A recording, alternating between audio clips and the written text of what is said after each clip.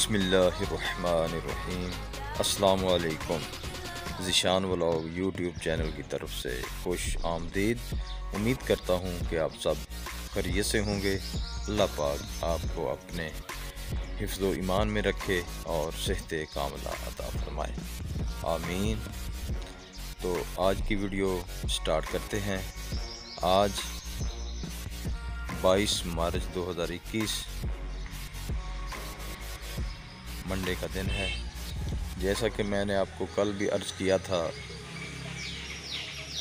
तो इजलास वाली बात जो,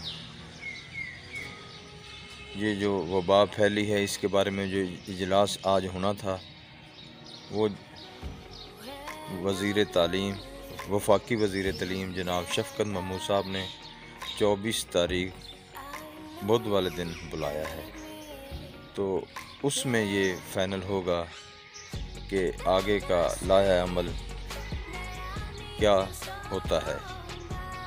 महकमा सेहत के साथ और जो टीम बनाई गई है, उस वो सभी मिलकर इस पे गौर करेंगे। तो आज जो उनकी एक प्रेस कॉन्फ्रेंस देखी है तो उसमें तो उन्होंने बताया है कि जो वज़रा तलीम है मसन सूबाई वज्र तलीम वो इस बात पे ज़ोर दे रहे हैं कि स्कूल क्लोज़ ना किए जाएँ। तो ये बात सुनकर बहुत अच्छा लगा। अल्लाह करे ऐसा ही हो जाए। तो ये 24 तारीख को फ़ाइनल होगा कि लॉकडाउन के बारे में क्या हमत अमली तय होती है, या तो बिल्कुल ही स्कूल क्लोज़ हो जाएँगे पूरे पंजाब के। एस ओ पीज़ पर ज़्यादा तवज्जो दी जाएगी। क्या करते हैं? तो आप भी दुआ किया करें कि अल्लाह पाक हमें जो ये वबा है, इसने स्टूडेंटों को टेंशन नहीं दी। ये ये तो पूरे माशरे को खा गई है।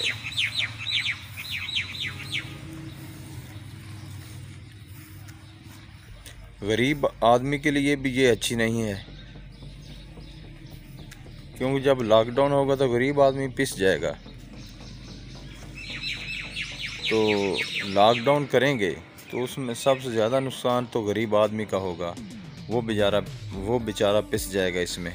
तो अल्लाह पाक हम पे अपनी रहमत से, क्योंकि हम ख़ताकार हैं गुनागार हैं वो मालिक है, गफूर रहीम है, मुआफ़ फरमाने वाला है तो हमारी गलतियों को मुआफ़ फरमा दे। जो हमसे जो कुताई हुई है, उस पर पर्दा फरमा ले और ये सिस्टम दोबारा इसी तरह खुल जाए तो कोई टेंशन ना हो तो सारे काम अच्छी तरह से हो जाएँ। रात को भी बारिश हुई थी हमारे यहाँ और कल भी। तो उससे मौसम अच्छा हो गया है, अल्हम्दुलिल्लाह अल्हम्दुलिल्लाह। तो अल्लाह पाक हम पे भी रहम फरमाए और ये जो वबा है, इससे हमें बचाए तो फिर ही बात बनेगी। दूसरा जो हमारा नया क्लासरूम आए थे, उसका काम, उन्होंने वो इधर वाला क्लासरूम तो कर दिया है तो अब साइंस लैब पे चल रहे हैं। बस अब दिनों की बात है इन वो भी क्लियर हो जाता है। तो गवर्नमेंट ऑफ़ पंजाब ने 418 स्टूडेंट जो हमारे ज़ुम्मे, हमारे स्कूल के थे, ये हमने नया दाखिला करना था।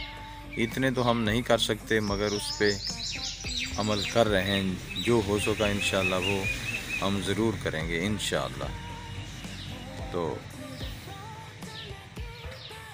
दुआ किया करें, बच्चों को क्योंकि आज एक बात आपसे शेयर कर लूँ तो आज जनाब प्रिंसिपल साहब ने बड़ी सख्ती की है, ख़ास तौर पर मास्क। तो बच्चे को बग़ैर मास्क के नहीं बैठने देते, जो एम ई हजरात आते हैं या जो स्कूल को चेक करने वाले आते हैं, वो मेन जो है, सबसे मेन, वो मास्क है स्टूडेंट का।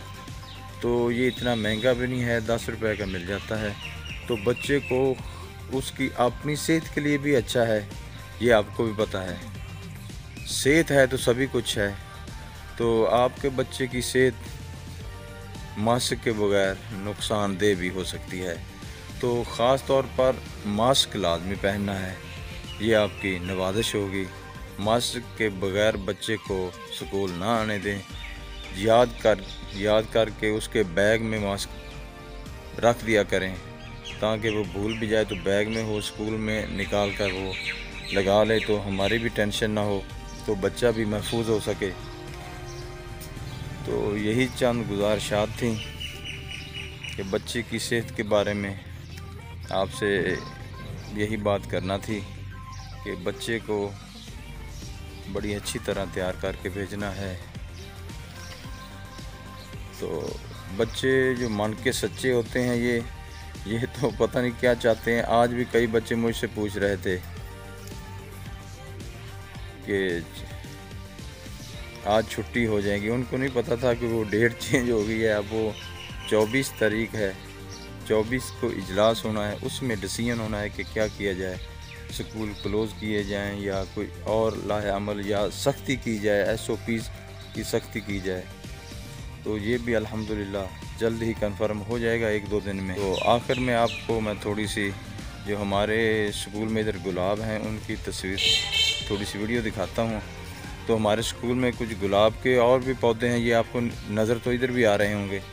मगर मैंने थोड़ी सी वीडियो बनाई है गुलाब की तो वो मैं आपसे शेयर करता हूँ। उससे पहले आपसे रिक्वेस्ट करनी है कि ज़िशान ब्लॉग यूट्यूब चैनल को सब्सक्राइब कर दें वाच टाइम दें, अपने दोस्तों से भी कहें कि वो भी ज़िशान ब्लॉग यूट्यूब चैनल को सब्सक्राइब कर दें वाच टाइम दें। तो आपका बहुत बहुत शुक्रिया। उम्मीद करता हूँ कि आप तावन करेंगे। तो आओ आपको थोड़ी सी वीडियो दिखा देता हूँ।